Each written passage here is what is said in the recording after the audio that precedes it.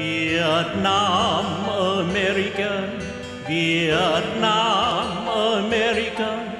Lấy máu đào đắp đền sông núi quên thân mình Như miền thằng ái chào tất gọi quý khán giả của đài VNA TV tại miền Nam California, thủ đô lớn Sài Gòn của người Việt tị nạn trên băng tầng 57.3, miền Bắc San Jose trên băng tầng 16.10 và Houston, Texas trên hầm trên băng tầng 27.4.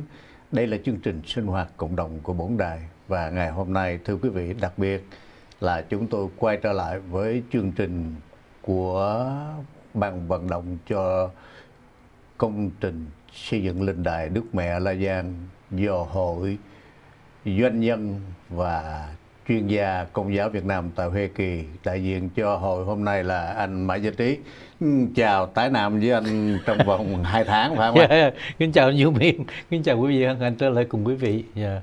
cầu xin quý vị được bình an thấy anh Vũ Miên này thấy anh bình an rồi đó thấy cô một khỏe rồi đó. vâng suốt cả hai tháng vừa rồi dù là dịch bệnh Covid nhưng mà khán giả của đài những người quan tâm đến công trình Đức Mẹ La Vang vẫn thường xuyên gọi cho chúng tôi để hỏi về công trình này Yeah. thì chúng tôi cũng có trình bày là tất cả mọi việc từ tòa thánh đến giáo phận vẫn không có gì thay đổi hết dạ vâng vẫn tiến trình vẫn làm và âm thầm đóng góp cũng có rất là nhiều Dạ. nhưng mà tại vì mình có những cái vấn đề khó khăn Dạ. cho nên mình không có lên chương trình trực tiếp được ngày hôm nay thì Dạ. à, chúng tôi mời anh tới đây để nói chuyện thông báo những cái chi tiết liên quan đến công trình này thưa mời anh Dạ, dạ tôi cảm ơn Như Minh. Kính thưa quý vị, à, cảm ơn tất cả quý vị lo lắng và suy nghĩ về vấn đề đó thì thật sự cảm cảm ơn Đức Mẹ.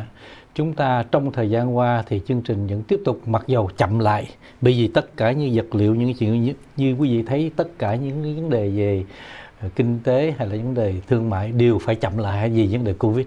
Thì cái chương trình Đức Mẹ chúng ta cũng chậm lại nhưng mà điều đó không có nghĩa là cái sự cầu nguyện không bao giờ chậm lại cái sự cầu nguyện luôn luôn có cái sự cầu nguyện. Và cũng cảm ơn tất cả quý vị nhưng gần tuần trước có anh Troy anh cũng gọi lên để xin đóng góp thẳng vào Đức Mẹ. Rồi thì cảm ơn anh và gia đình xin Chúa chúc lành cho Đức Mẹ. Cũng như có các cụ cũng tiếp tục gọi và hỏi như thế nào, thì có lẽ chương trình Đức Mẹ phải dời cho đến sang năm. Nhưng mà vẫn tiếp tục làm việc, chúng ta vẫn tiếp tục cầu nguyện. Và chúng ta sẵn sàng, cũng như như quý vị đã thấy, sẵn sàng hôm nay thì chúng ta thấy, chúng tôi cũng xin thưa quý vị, trong tháng 5 này có những diễn biến rất là lớn.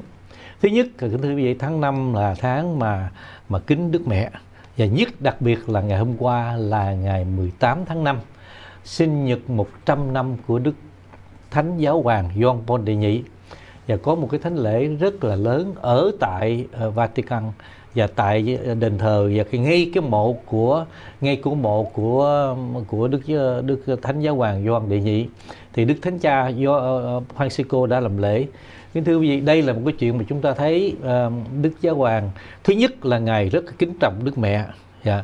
Chính mà khi mà ngài bị ám sát thì cái viên đạn mà mà để trong người của của chính trong tim của ngài để được đem lên đi dâng lên trên Đức Mẹ uh, Fatima.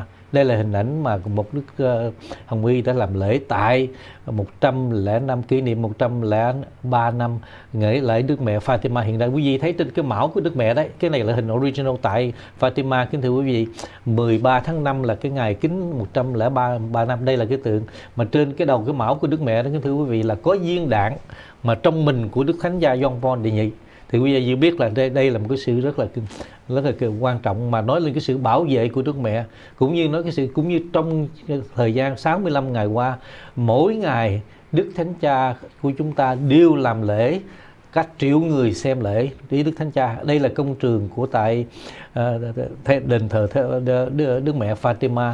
Thường thường kính thưa quý vị Đức Mẹ Fatima cả trăm triệu người đến đó cả triệu người triệu người đến. Nhưng mà hiện giờ năm nay với cái sự khung như là uh, bị gì cái dịch dịch covid cho nên cái sự vắng lặng cũng như trong đền thờ Thánh Phêrô cũng vắng lặng nhưng mà không có nghĩa là không có sự cung kính và không có nghĩa là không có sự cầu nguyện.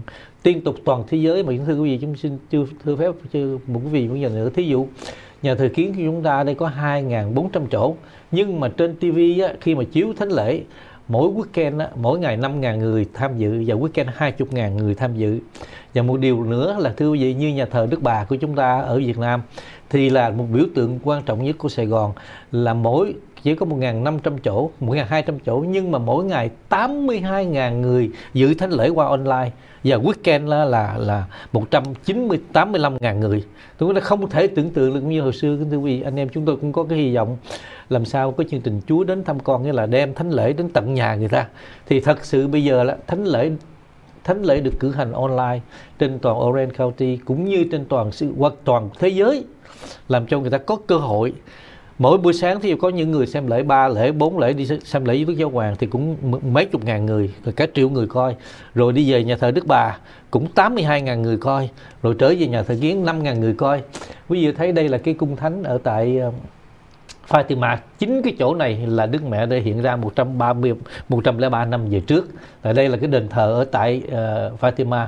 Thì cái lễ mà trọng thể nhất là 1900 1917 kỷ niệm 103 năm mà Đức Mẹ hiện ra mà Đức Mẹ cái thông điệp của Đức Mẹ rất là rõ ràng. Thứ nhất là ăn năn cầu nguyện, thứ nhì là lần chuỗi mân côi và thứ ba là cải thiện đời sống. Cái chính vì cái sự cầu nguyện lấy mân côi mà mà cái thế chiến thứ nhất đã được chấm dứt và bao nhiêu chuyện xảy ra nước Nga sụp đổ cũng nhờ sự cầu nguyện này. Kính kính thưa quý vị, đây là một hình ảnh mặc dù trên TV chúng ta nhưng cả triệu người đều coi nhìn thấy cái này. Chúng ta thấy rằng cái sự làm việc rất là mầu nhiệm của Thiên Chúa cũng như cái sự truyền thông. Có những cái truyền thông luôn sĩ giả, nói không có đúng sự thật sĩ giả này nhưng mà có những cái truyền thông phản ảnh một cái chuyện là sự cầu nguyện liên dĩ và sức mạnh của ơn trên. Nếu mà quý gia quý chúng ta mà còn sống tới bây giờ chúng ta thấy cái quan trường đó rất, quảng trường rất là vắng lạnh, rất là buồn. Nhưng mà cái tâm hồn đã lắng động vào bao nhiêu triệu người ở trên thế giới, cũng như ngay cái ngày lễ mà thứ sáu trường thánh tại đức thánh cha ở ờ, đền thờ phêrô. Lắng lạnh bao nhiêu người thành ra rất là cảm động đức cha đứng một mình. Khi mà đức cha làm trận đàn thánh giá, đức thánh cha đó, thì có 14 người tù mỗi người tù trong đó thay vì mỗi năm đức thánh cha được rửa chân cho người tù ngày mỗi chuyện người tù nó kể một cái chuyện rất là cảm động thấy cái sự sống động của tình thương cái sự sống động của Chúa và sự sống động của Đức Mẹ trong mỗi hoạt động của chúng ta và vâng. Đức Mẹ không à. bao giờ bỏ chúng ta cảm ơn anh bây giờ thì chúng ta sẽ trở lại chương trình sau đó anh sẽ tiếp tục dạ, uh, dạ. câu chuyện này chúng dạ. trở lại chương trình sau vài phút quảng quảng cáo Việt Nam American Việt Nam tình đồng minh trên vai chiến đấu.